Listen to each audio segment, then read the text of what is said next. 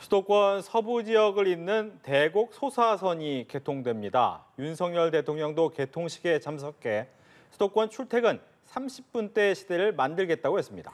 야권에서는 이 행사에 해당 지역구 의원들이 초대 취소 통보를 받았었다며 패싱 논란을 제기했습니다. 구하림 기자입니다.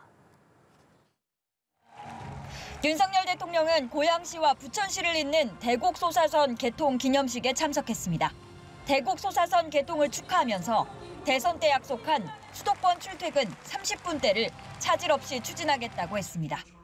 1시간 이상 소요되었던 구간을 아, 이제 전철로 15분 만에 다닐 수 있게 됐습니다. 주민들의 일상은 물론이거니와 지역 경제에도 큰 활력이 생길 것입니다.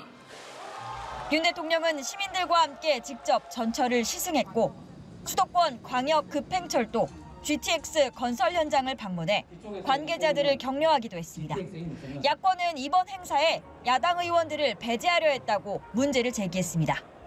해당 구간을 지역구로 둔 야당 의원들이 돌연 초대 취소 통보를 받았고 하루 전날 국회 국토위에서 국토부 장관을 상대로 항의한 끝에 급하게 다시 초청받았다는 주장입니다. 실무적 착오가 일어나려면 저희한테 초대조차도 오지 말았어야 됩니다. 의자에 붙어 있는 이름표를 보니까 저희 4명 의원만 급조를 했는지 글씨체가 다릅니다. 김동연 경기도지사도 의도적인 배제였다면 소탐 대시라는 것이라며 유감을 표명했습니다. 이와 관련해 국토부 관계자는 실무진의 착오로 빚어진 일로 파악했다고 밝혔습니다. 연합뉴스 TV 구하림입니다.